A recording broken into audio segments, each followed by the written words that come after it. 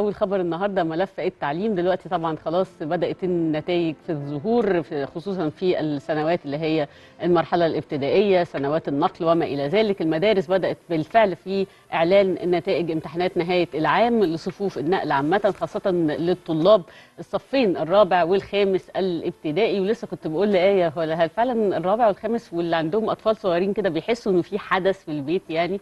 هو طبعا حاجة مهمة وألف مبروك على كل ولادنا بس إيه نهدي مش من وإحنا صغيرين نبتدي ندق على رابعة وخمسة ابتدائي يعني واحدة واحدة كده.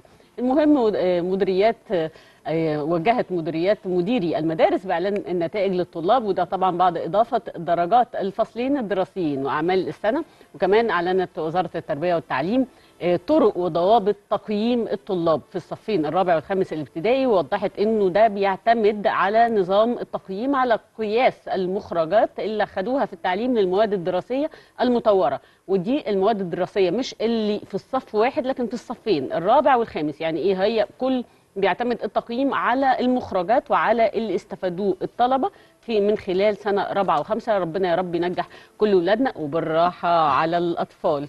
ربنا ينجحهم يا رب. يعني ف... يعني بص أنا معاكي طبعا رابعة وخمسة سنوات سهلة جدا نهدى. بالنسبة مثلا للثانوية العامة اللي بيكهربوا ولادهم في السنة دي.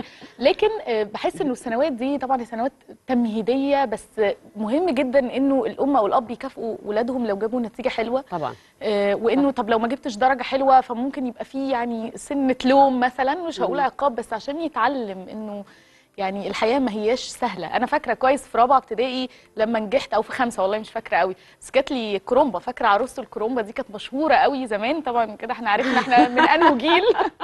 بس يعني فكرة المكافأة في في السنوات الصغيرة دي بتشجع وبتحفز إنه الطفل يبقى يركز أكتر يبقى ينمي مهاراته وما إلى ذلك على كل كل التوفيق لكل الطلبة والطالبات. ومبروك عليكم الاجازه بقى.